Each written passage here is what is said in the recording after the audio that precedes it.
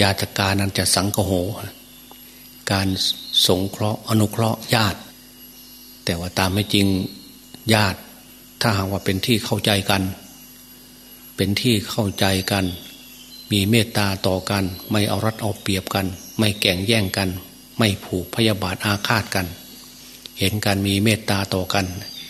อันนั้นแปลว่าญาติที่ดี มีน้ำใจต่อกัน มันคงจะเป็น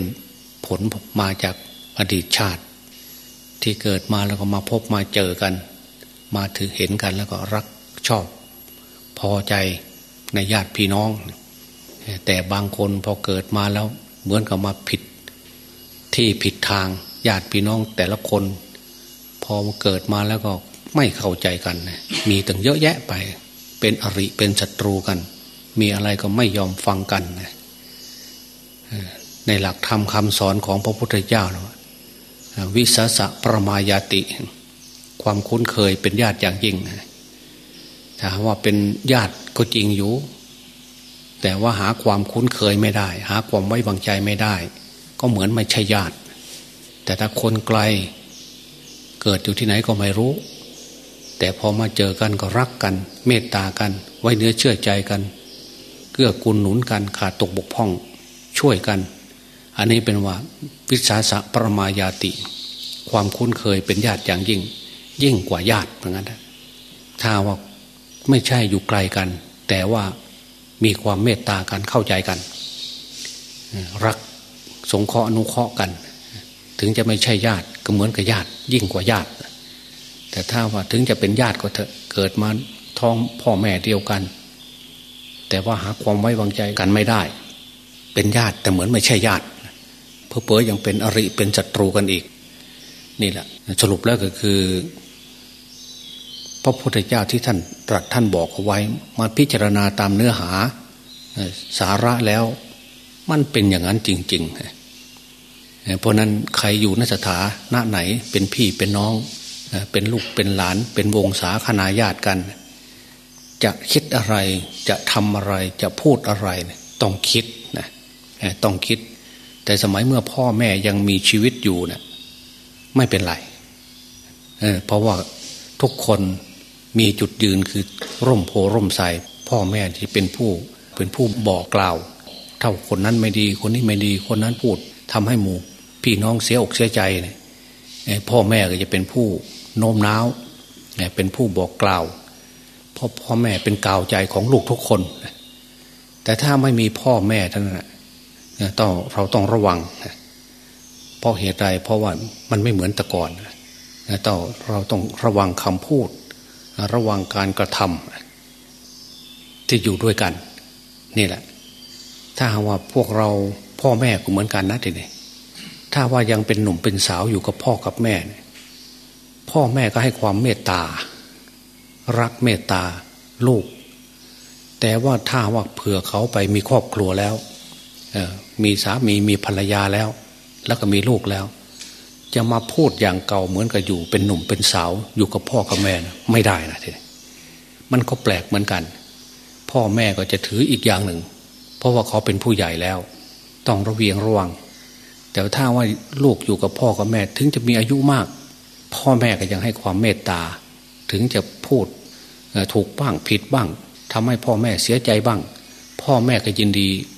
ให้อภัย แต่ถ้าว่าลูกคนใดไปมีครอบครัวแล้วกลับมาหาพ่อแม่ทำเหมือนสมัยก่อน พูดอะไร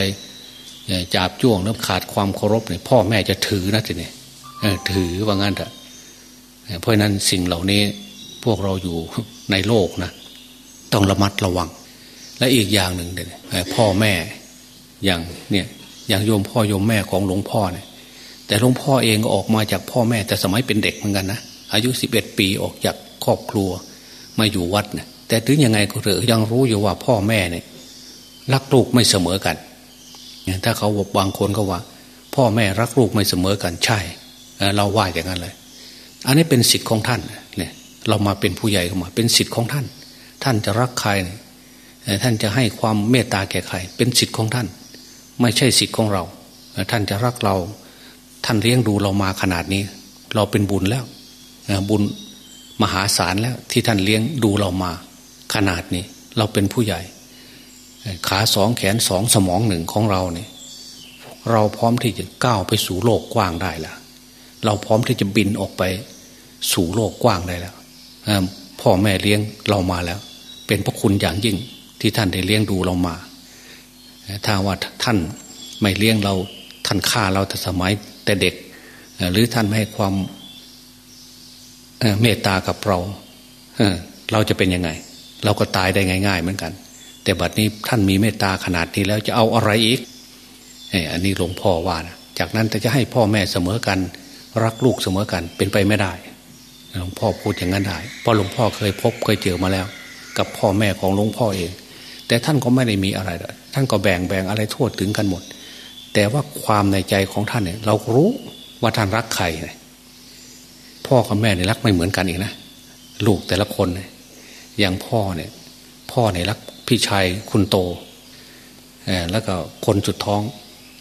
แต่แม่เนี่ยรักลูกสาวคนหนึ่งโยมพี่นะโยมพี่ที่ตรงพ่อไปเยี่ยมโอ้โยมแม่รักมาก ทั้งที่มีลูกสาวทั้งสามคน แต่คุณแม่รักคนนี้มาก แล้วก็ลูกชาย ลูกชายคนจุดท้องเนี่ยรักเหมือนกันแต่หลวงพ่อเสียใจไหม แต่สมัยเด็กหลวงพ่อก็คิดคิดเหมือนกัน เสียใจเหมือนกัน แต่พอได้บวชเป็นพระบวชเป็นเนนเป็นพระหลวงพ่อไม่เสียใจ ดูเป็นธรรมดาเพราะนั้นหลวงพ่อจึงได้พูดให้แก่พวกเราท่านทั้งหลาย ให้ได้ฟังว่าไม่ต้องเสียใจอันนั้นเป็นเรื่องของท่าน เป็นสิทธิ์ของท่านที่จะต้องรักใคร เมตตาใคร แต่ท่านเลี้ยงดูเรามาขนาดนี้แล้ว เป็นพระคุณอย่างยิ่ง เราควรเทิดทูนบูชาพระคุณของท่าน แล้วก็เราเองพร้อมที่จะทำคุณงามความดีได้ทุกอย่าง อย่าไปทำความชั่ว สิ่งไหนที่มันชั่วช้าเสียหาย อย่าทำเพราะเรารู้แล้ว เราอยากจะได้อะไร เราหมั่นขยัน มีความอดทน ใช้สติใช้ปัญญาของเราเท่าที่มีถ้าเรามีบุญวาสนาบารมีในอดีตชาติที่พวกเราได้ทำมาแล้วนั่นแหะบุญบารมี อันนี้แหละ จะเกื้อกูลหนุนเราอีก แต่เราไม่มีบุญ ในอดีตชาติ ถึงเราจะทำขนาดไหนก็เถอะ มันขยันขนาดไหนก็เถอะ บางคนมันขยัน เออ มันก็พอดีกว่าไม่ขยันเหมือนกันแต่บางคนไม่ค่อยขยันเท่าไหร่ แต่เขาถูกจังหวะในการทำการทำงานของเขาคล้ายๆว่าสิ่งที่ที่เขาได้มาเนี่ยมันเป็นพลังของเขาเป็นบุญของเขาที่มันได้มา พอเป็นพอไปมีความสุข ยิ่งกว่าใครอื่นอีกต่างหาก เพราะเหตุไร ถ้าจะว่าไปชาวบ้านเขาก็คงไม่รู้ว่าอันนี้คืออะไร แต่ท่านตามหลักของพระพุทธศาสนา แล้วอันนี้คือบุญ บุญมันเป็นพลัง เป็นเครื่องเกื้อกูลหนุน แล้วก็พร้อมกันก็เป็นคนขยัน มันพร้อมๆนะคนมีปัญญากับคนขยัน คนขยันก็ย่อมหาทรัพย์ได้เขารู้จักจังหวะในการหาในการค้นคว้าในการศึกษาในการบำเพ็ญ นี่แหละ อันนี้ก็คือบุญกุศลเก่าที่เกื้อกูลหนุน พวกเราอีก เพราะนั้นในหลักของพระพุทธศาสนาพระพุทธเจ้าท่านจึงบอกสอนพุทธบริษัทสีของพระองค์ว่า อย่าตั้งอยู่ในความประมาทคนขนขวาย สร้างบุญสร้างกุศลเข้าสู่จิตใจ บุญกุศลนี่แหละ จะเป็นเครื่องเกื้อกูลหนุน เกิดพบหน้าชาติหน้า มีพบมีชาติขึ้นมา บุญกุศลนี่ก็จะต่อพบต่อชาติ แต่บางท่านบางคน พระพุทธเจ้าท่านดูปุเพนิวาสานุสติยานจุตูปปาตยานที่ว่ายานที่ว่าจุตูปปาตยานเนี่ยจุดนี้นะสรรพสัตว์ทั้งหลายเกิดมา แต่เกิดมาชาติที่แล้วเนี่ย เขาเป็นคนดีคนดีรวยอีกต่างหากแต่เกิดมาชาตินี้อีก แต่ว่าชาติที่แล้ว ถึงจะเป็นเขารวยก็เถอะ แต่เขาทำกรรมชั่วเลยทำกรรมชั่วฆ่าสัตว์ตัดชีวิตอะไรที่มันเสียหายการพนงการพนันสุรานาลีเขาทำไปหมด สรุปแล้วก็คือทำกรรมชั่วในชาติที่แล้ว แต่เขาเป็นคนรวย แต่มาชาติที่รวยอีก นี่แหละ อันนี้คือคือผู้ระลึกชาติได้เป็นบางคนนะเป็นคนดิบแต่เขาระลึกชาติเก่า กันนานๆไม่ได้ เขาระลึกชาติได้เพียงแต่สามสี่ห้าหกเจ็ดชาติเนี่ยเขาไม่ได้ลึกถึงชาติ ไกลๆได้ เขาก็บอกเอ้า ผมเกิดชาติที่แล้วเนี่ยผมเป็นคนรวย แต่ผมทำตัวอย่างสุดๆเลย แต่กลับเกิดมาชาตินี้ผมก็รวยอีกเนี่ยพระพุทธเจ้าท่านบอกว่าอันนี้สงบาปอันนี้สงบุญที่เกื้อกูลหนุนนั้น มันยังไม่หมด คือชาติก่อน ทำบุญเอาไว้มาก พอมาชาติที่แล้วก็เสวยบุญชาตินั้น ชาตินี้อีกก็เสวยบุญชาตินั้น ถึงจะทำกรรมชั่วก็จริงอยู่ แต่ว่ากรรมชั่วนั้นมันยังไม่ให้ผลมันยังจ้องอยู่งั้นแต่มันจ้องจ้องตะคบอยู่ แต่เมื่อบุญกุศลที่ทำมาแล้วมันอ่อนกำลังเลยพออ่อนอ่อนกำลังลงเท่านั้นแหละ บาปอากุศลที่ทำไว้นะ่ะเริ่มเล่นงานแล้วนะท่านเล่นนานไปทีละน้อยหนักข้อขึ้นเรื่อยๆแล้วงั้นเถอะ ถึงจะทำสร้างบุญสร้างกุศลมาเสริม มันก็ยังค้ำมาอยู่งั้นเถอะเพราะทำกรรมมันหนักนะผลที่สุดจนหมดนั่นนะหมดกรรมตัวเองกระทำนั่นนะบุญกุศลตัวอื่น ยังเข้ามาช่วยอีก เพราะนั้นพระพุทธเจ้าท่านมองท่านดูเห็นแล้วว่าสรรพสัตว์ทั้งหลายเกิดมาในโลกนี่เกิดมาเพราะกรรมกรรมคือการกระทำเพราะนั้นอย่าทำกรรมไม่ดีให้ทำแต่กรรมดีให้สร้างแต่บุญกุศล สิ่งไหนที่มาชั่ว เสียหาย อย่าดิทำทำไปแล้ว มันจะเป็นกรรมตามสนองเพราะนั้นสิ่งเหล่านี้ในหลักของพระพุทธศาสนา ถ้าเราได้ศึกษาแล้วนะเราจะรู้เราจะได้เรียนรู้เราจะได้รับรู้รับทราบ ว่าภาษาวกองนี้ ท่านได้ทำกรรมอันไหนไว้ ท่านได้สร้างบุญกุศลอันไหนไว้ อย่างพระโมคคัลลาเนี่ย ทำไมท่านจึงได้เป็นพระอัครสาวกข้างซ้ายของพระพุทธเจ้า พระพุทธเจ้าบอกว่าเนี่ยสมัยหนึ่ง พระพุทธเจ้าท่านไปโปรดพระสารีบุตรก่อนภาษาลิบุตรเป็นฤาษีอยู่ในป่า แต่พระโมคคัลลาเป็นมหาเศรษฐีอยู่ในบ้าน แต่เป็นเพื่อนกัน แต่คนหนึ่งไปบำเพ็ญอยู่ในป่า พอฤาษีได้กราบพระพุทธเจ้า พระพุทธเจ้าประกาศว่าเนี่ยลูกศิษย์ของเราเป็นอัครสาวกข้างขวา ของเรา เป็นผู้เลิศกว่าภิกษุทั้งหลายทางด้านปัญญาแต่ในพระฤาษีโอ้คิดถึงเศรษฐีที่เป็นเพื่อนกันอยู่ในเมือง เราต้องออกไปหาเพื่อนในเมืองวะก็เลยพาฤาษีกลุ่มหนึ่ง ไปก็ไปบอกเพื่อน เอ้ย เพื่อน เราเป็นฤาษีอยู่ในป่า พระพุทธเจ้าพยากรณ์แล้วนะได้ตรัสไว้เราเราปรารถนาเป็น พระอัครสาวกของพระพุทธเจ้าองค์หนึ่งในอนาคต เธอไม่เอาเป็นอัครสาวกข้างซ้ายเหรอเศรษฐีคนนี้ก็พออกพอใจทันทีอย่างนั้นโอ้ใช่ ก็เลยกราบพระราชนานิมนต์พระพุทธเจ้า มาฉันตั้งปลำใหญ่ตรงนั้นตั้งปลำใหญ่ นิมนต์พระพุทธเจ้าพร้อมกับพระอรหันต์มาฉันพอฉันเสร็จแล้วก็ฉันทั้งเจ็ดวันนะ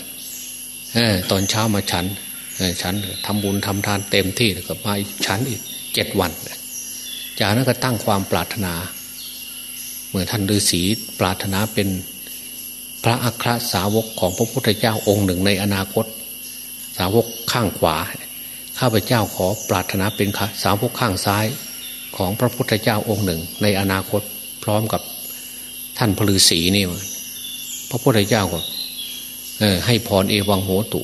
ขอความปรารถนาของท่านจงสำเร็จนะนั่นแหละคือความปรารถนา คือสรุปแล้วก็คือทำบุญทำทานซะก่อนจึงตั้งความปรารถนา แต่ตอนนี้ท่านมาพูดเรื่องทำไมพระโมกขลาจึงถูกฆ่าทีนี้นะอันนี้ก็พระพุทธเจ้าบอกว่าพระโมกขลาเนี่ยบำเพ็ญกุศลมาโดยตลอดลุ่มลุ่มดอนดอนสูงสูงต่ำต่ำบางพบบางชาติก็มีอารมณ์โมโหโกธาบังแต่มาชาติหนึ่ง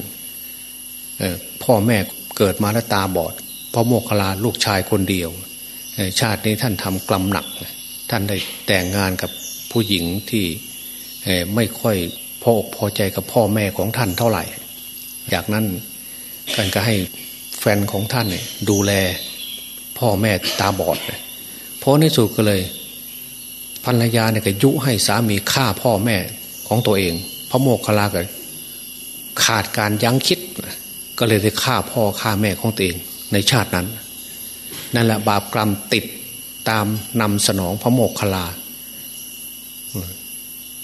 ถ้าหาว่าพระโมกขลายังไม่พ้นทุกในชาตินี้ ชาติต่อไปอีกกรรมตัวนี้ก็คงยังไม่หมดเพราะงั้นแต่แต่ชาตินี้เป็นชาติที่ว่าเป็นชาติที่ห้าร้อยหรือมั้งชาติที่ร้อยหลวงพ่อก็จำไม่ชัดนะแต่พอมาชาตินี้พระโมคคัลลาก็ถูกฆ่า แต่พวก พุทธบริษัททั้งหลายก็มาโจดขานกันว่าทำไมพระโมคคัลลามีทั้งอิทธิฤทธิ์เป็นอัครสาวกของพระพุทธเจ้าทางด้านซ้ายอีก เป็นที่ยอมรับของคู่คนทั้งหลาย เป็นที่กราบไหว้ของพระสงฆ์และคณะสัตยาญาติโยมทำไมบ้านปลายชีวิตจึงมาถูกฆ่าอย่างนี้ อันนี้คนทั้งหลายโจดขานกันสงสัยกันทั้งหมด มากราบพูนพระพุทธเจ้า พระพุทธเจ้าท่านรู้หมดทุกอย่าง ทั้งอดีต ทั้งอนาคต ทั้งปัจจุบัน ท่านมองดูแล้ว ท่านก็บอกว่าพระโมกขลา ตายสมควรแก่กรรมที่ตนได้กระทำไว้ในอดีตชาติ เพราะตนเองได้กระทำไว้แล้ว มันหนีไม่พ้นถึงจะไปอยู่ตรอกห้วย ราวเขาไหนอยู่ในดินฟ้าอากาศอยู่ไหนอยู่ในเมืองในกรุงขนาดไหน นี่แหละกรรมตัวนี้จะตามสนองต้องได้ใช้กรรมทั้งหมด ที่ตนเองได้กระทำไว้ เพราะนี้เป็นอนันตริยกรรม คือกรรมหนัก พระสงฆ์ทั้งหลายได้กราบทูลถาม พระพุทธองค์ได้อธิบายให้ฟัง บอกว่าพระโมคคัลลาเคยฆ่าพ่อฆ่าแม่ในอดีตชาติ มาชาตินี้เป็นชาติหนึ่งที่ถูกฆ่า แต่บัดนี้พระโมกขลาเป็นพระอรหันต์แล้วแปลว่าตัดกิเลสขาดแล้ว กรรมทั้งหลายตามไม่ทันแล้วบัดนี้เหมือนกับ หมาเนี่ยเกิดมาพบใดชาติใดเหมือนกับหมาไล่เนื้ออย่างนั้นนะไล่ไล่ไล่แต่บัดนี้พระโมกขลา หมดกิเลสแล้ว เหมือนกับขึ้นไปสู่ยานอวกาศเออโลกโลกไม่ดึงดูดอีกแล้ว เป็นอีกมิติหนึ่งเหมือนกันโลกไม่ดึงดูด พระโมคคัลาเป็นพระอรหันต์กรรมทั้งหลายก็หาพระโมคคัลาไม่เจอเลยหาไปหามาไม่เจอ ผลที่สุดก็ เป็นอโหสิกรรมกรรมให้ผลสำเร็จก็ว่ามันตามไม่ถึงเพราะพระโมคคัลลาไม่เกิดอีกแล้ว ถ้าพระโมคคัลลาเกิดอีก พระโมคคัลลาจะต้องได้รับกรรมที่ตนเองได้กระทำที่ได้ฆ่าพ่อฆ่าแม่เอาไว้ท่านนี่แหละหลักของพระพุทธศาสนา เพราะนั้นนามอักตังทุกตังเสยโยปัชชาตปฏิทุกตังกรรมชั่ว อย่าทำเสียเลยดีกว่า เพราะกรรมชั่วนั้น ย่อมให้ผล เป็นทุกข์เมื่อภายหลัง ให้ผลสิ่งที่ไม่ดีเมื่อภายหลัง ให้ทำแต่กรรมดี ถ้าใครทำกรรมดีแล้วกรรมดีน่าจะตามสนองไปเกิดพบภูมิใด มีแต่ความเจริญรุ่งเรือง มีแต่ความร่มเย็นเป็นสุขนี่แหละหลักของพระพุทธศาสนา ท่านสอนท่านบอกท่านกล่าว ให้พวกเราท่านทั้งหลายได้ฟังได้ศึกษา สรุปแล้วคือท่านบอกว่าตายแล้วไม่สูญตายแล้วเกิดเนี่ย ทำไมท่านจึงได้ตรัสอย่างนั้นครับ เพราะพระองค์ได้พิสูจน์ดูแล้ว และพ่อแม่ครูบาอาจารย์ของพวกเราเยุคนี้สมัยนี้ที่ท่านไปไปปฏิบัติ แบกกฎตะพายบาท ไปหาภาวนาอยู่ตามภูผาป่าไม้อยู่ตามถ้ำตามเหวอยู่ตามป่าชงป่าช้าที่สงบสงัดทางไกลจากคู่คน ท่านไปภาวนาท่านไปทำไมนี่แหละท่านไปดูใจของท่าน ท่านไปพิสูจน์ว่างั้น พอได้เรียนทำคำสอนของพระพุทธเจ้าแล้วไปพิสูจน์ไปอยู่ในป่า ถึงจะทุกข์ยากลำบากขนาดไหน อดบ้างอิ่มบ้างบางที บางวันไม่ได้อยู่ได้ฉันอีกต่างหาก ไปอยู่ในป่า ขนาดกันดารแล้วท่านยังไม่ฉันอีกต่างหากไปบำเพ็ญในป่าไปดูใจ ภาวนาเพื่อดูใจ จากนั้นใจของท่านรวมจิตใจของท่านสงบ จิตใจรวมลงเป็นหนึ่ง ท่านรู้ได้ด้วยตนเองเหมือนกัน เหมือนกับพระพุทธเจ้าท่านแนะนำสั่งสอน ในพระธรรมคำสอนของพระพุทธเจ้า ตายแล้วไม่สูญตายแล้วเกิดอีกกายกับใจอาศัยกันอยู่ ไม่ใช่อันหนึ่งอันเดียวกันนะกายเนี่ยแตกตายสลายแน่ อย่างพวกเราท่านทั้งหลายเห็น แต่ใจคือนามธรรมนั้นไม่ตาย จะต้องออกจากร่างนี้ไปปฏิสนธิไปหาเกิดที่อื่นอีก ไปยึดที่อื่นอีกอพอรถคันนี้พังเข้าไปแล้วก็ไปจองรถในอู่อีก อจองรถในอู่อีกขับออกมาอีกมาใช้อีกอพอมาใช้แล้วก็ มันพังอีกมันหมดอายุของมันรถนะ่ะพอหมดอายุแล้วก็ ไปขับเข้าไปในอู่อีก ไปขับออกมาอีกเพราะนั้นให้เราดูให้สังเกตดู ร่างกายเนี่ยเหมือนกับรถจิตจิตใจเหมื่อคนขับรถ แต่ร่างกายเนี่ยมันชุดโทมไปเรื่อยๆ ตาฝ้าตาฟางฟันหลุดหนังเหี่ยว ผมงอกอย่างนี้ แต่กายมันเสียใจไหมมันไม่ได้เสีย แต่ความรู้สึกมันเสีย ใจเสีย ใจคือเจ้าของรถนั่นนะเนี่ยนะพอจากนั้นใช้ไปใช้มาหมดสภาพอีกพอหมดสภาพตายอีกตายไปขับรถอีก แต่ตัวเองพอขับรถออกมาจากอู่เท่านั้นนะไม่ได้สนใจการทำมาค้าขายเหมือนกัน อขับรถออกมาจากอู่มีแต่เที่ยวสัมเลเทเมาอย่างไรสนุกสนานทำหมด หาอยู่หากินกินเหล้าเมายาการพนงการพนันไม่มีการสะแสวงหาทรัพย์ไม่มีทุน พอขับรถเเที่ยวตลอดตลอดตลอดไปตลอดไม่ได้ใส่ใจในการทำมาค้าขาย พอรถคันนี้หมดสภาพท่านเนี่ยไม่มีเงินในกระเป๋าแล้วแต่ไม่มีเงินในกระเป๋า จะไปจองรถอีกคันอื่นก็จองไม่ได้ เพราะอะไรมันหมดไม่มีเงิน ผลในสุดก็มองไปมองมาไปเห็นท้องหมูหมากาไก่ก็ไปฮักเกิดแล้วไปจองไปจองรถในท้องช้างบ้างท้องวัว ท้องหมาท้องควายบางทีมันไปได้ทั้งนั้น พระพุทธเจ้าท่านว่านั่นน่ะไปจองได้เพราะอะไรเพราะเขาไม่มีบุญถ้าเขามีบุญแล้วเขาจะไปจองสถานที่ดี ๆ พอ ออกจากชาตินี้ เอ้ย ชาตินี้พอแล้ววะเกิดมาเป็นมนุษย์ยังไงยังไง ถึงจะรวยขนาดไหนก็ แก่เจ็บตาย มันมีความทุกข์ไปพักผ่อนอยู่สวรรค์ซะก่อนวะไปอยู่สวรรค์ซะก่อน ก็ไปสู่สวรรค์ได้ เพราะอะไรเพราะเรามีบุญ ไปสู่พรหมก็ได้จากนั้นจะค่อยลงมาเกิดพอมาเกิดแล้วเลือกที่เกิดได้อีกต่างหากเพราะเรามีบุญ เราจะไปเกิดที่ไหนวะเกิดชาติเนี่ยเราจะไปเกิดเป็นชาวไร่ชาวนาเราจะบวชใช่ไหม เราจะไปเรียนหนังสือหรือเราจะเป็นเศรษฐี หรือเราจะทำงานราชการ หรือเราจะเป็นตำรวจทหาร ไปเลือกเกิดได้ทั้งนั้นเพราะอะไร เพราะคนมีบุญ ถ้าคนไม่มีบุญอย่างว่านะจะไปที่ไหนก็ไปไม่ได้ เพราะเหตุไรเหมือนกับคนไม่มีเงิน คนไม่มีเงิน ไปอยู่ในประเทศก็ย่ำแย่อยู่แล้ว ยังหาข้าวจะกอกหม้อก็ไม่ได้ เพราะเหตุไรเพราะไม่มีเงิน แล้วจะไปเที่ยวประเทศลาวประเทศเขมรได้ยังไงเนี่ยประเทศพม่ามาเลได้ยังไง ถ้าเราคนมีเงินไม่ต้องว่าเลยเลยไปญี่ปุ่นเกาหลีไต้หวันไปได้ แต่คนมีเงินมากเลยไปรอบโลกก็ได้เลยแต่คนมีมากจริงๆเนี่ยไม่ใช่เหมาเครื่องบินเลยซื้อเครื่องบินเลยก็ได้